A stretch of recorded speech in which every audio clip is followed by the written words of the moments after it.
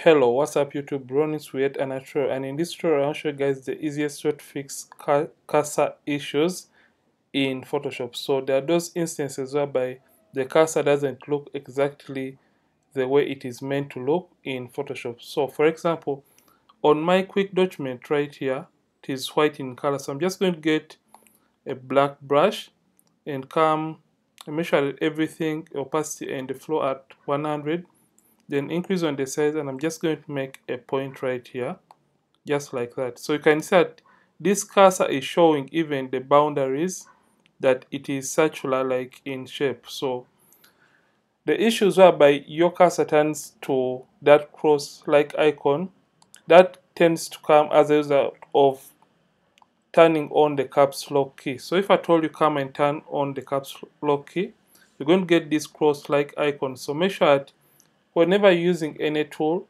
depending on what you're trying to do in Photoshop, always make, sure that the caps lock key is turned off. So this is the very same tool because if at all I make a point right here, it is going to make the same point.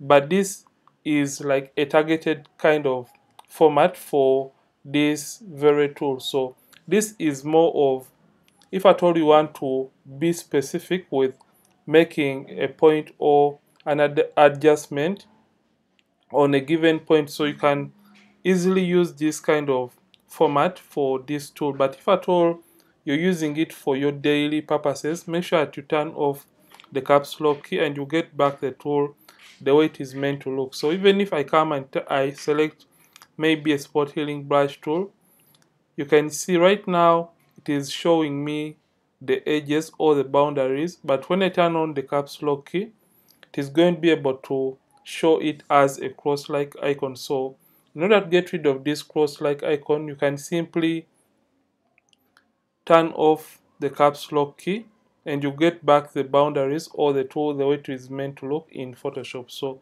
even if I come and I get my lasso tool so you can see that the lasso tool is showing the icon the way it is meant to be but when I turn on the caps lock key it is going to be able to hide the original shape of the of that lasso tool so basically this is an easy fix for your tools looking like cross like icons. So if at all you have been maybe doing skin retouching and removing blemishes and you want to get back the tool and maybe you had accidentally clicked on the caps lock key as you're doing your editing and your tool turns out to look like this cross like icon you can come and simply make sure that you turn off the caps lock key and you get back the tool the way it is meant to be. So you shouldn't be in shock or worried the next time you come across this issue when you're doing your photoshop work. So basically this is it for today's tutorial. Ronnix from Ronnix Photography. Thank you for watching and I'll see you in yet more tutorials on this channel. Don't forget to keep practicing and keep creating